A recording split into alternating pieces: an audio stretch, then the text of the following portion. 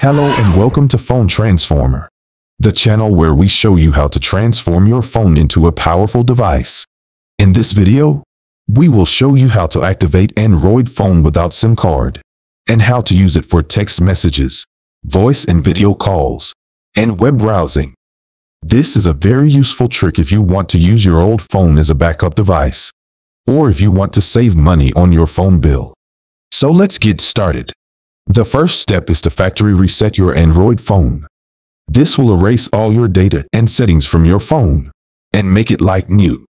This is necessary to activate your phone without SIM card and to avoid any errors or problems. To factory reset your phone, follow these steps. Go to the Settings app on your phone. Then tap on Additional Settings. Scroll and tap on Factory Data Reset. Choose Erase All Data. Confirm your choice by tapping on Reset Phone. Your phone will restart and perform the factory reset. This may take a few minutes, so be patient.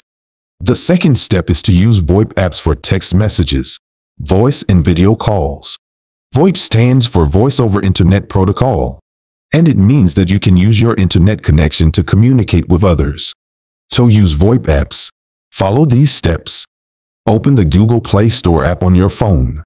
Search for the VoIP app that you want to use, such as WhatsApp, Skype, Viber, Telegram, etc. Tap on the app icon and then tap on Install. The third step is to use Chrome browser for web browsing. Chrome is a fast and secure web browser that comes pre-installed on your Android phone. To use Chrome browser, follow these steps. Open the Chrome app on your phone. Tap on the address bar and type the website that you want to visit. Tap on the Go button or the Enter key on your keyboard. Wait for the website to load on your screen.